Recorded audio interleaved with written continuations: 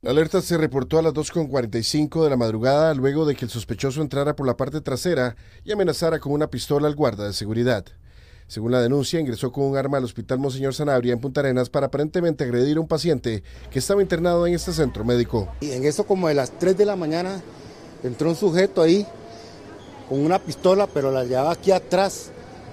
Andaba por los pasillos ahí.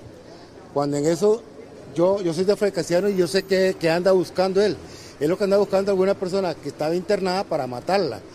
Porque los delincuentes se dan cuenta de todo cuando andan buscando a una persona que está internada.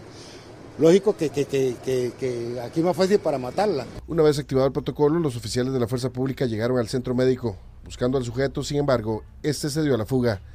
Según la directora del centro médico, algunos funcionarios fueron apuntados con el arma de fuego, por lo que recibieron atención médica por crisis nerviosa dentro de los dispositivos de seguridad que tiene el hospital que confirma que esta persona habría logrado ingresar, de manera que se están tomando medidas.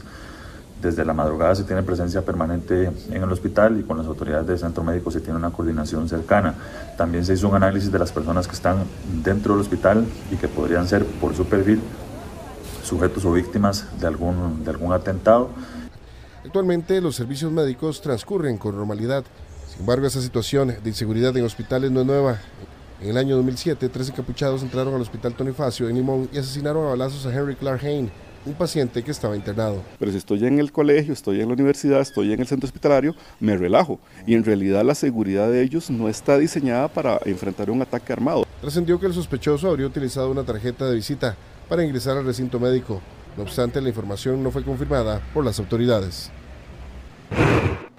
Y siempre sobre este mismo tema, el Hospital Monseñor Sanabria, principal centro médico de la provincia de Punta Arenas, aclaró que sus servicios continúan trabajando con normalidad, pese a la alerta por un aparente intento de homicidio que se registró en sus instalaciones la madrugada de este lunes. En una declaración, la Caja Costarricense del Seguro Social confirmó que una persona había intentado ingresar de manera violenta a las instalaciones, razón por la cual se activaron todos los protocolos sin afectar las labores regulares de este hospital.